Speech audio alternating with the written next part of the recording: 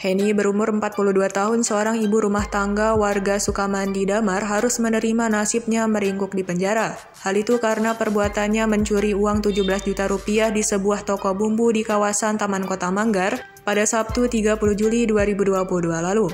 Kasat Reskim Polres Belitung Timur LPTU Fajar Yansyah Pratama mengatakan saat ditangkap sisa uang yang ada di tangannya tinggal bersisa 5 juta rupiah saja.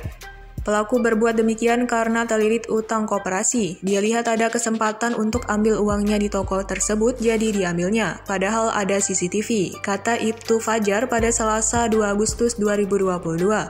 Henny ditangkap oleh Katim Jatan Rasa Satreskrim Polres Belitung Timur, Aibda Cecep Prayatno dan jajaran di rumah orang tua pelaku yang ada di Dusun Gunung Manggar pada Senin sore. Terpisah, pemilik toko bumbu yaitu Sandi Koswara mengatakan saat kejadian tokonya dijaga oleh istrinya karena dia sedang istirahat tidur. Mereka mengaku baru menyadari kehilangan uangnya sekitar pukul 13.30 waktu Indonesia Barat karena saat ingin menyotorkan uangnya ke bank.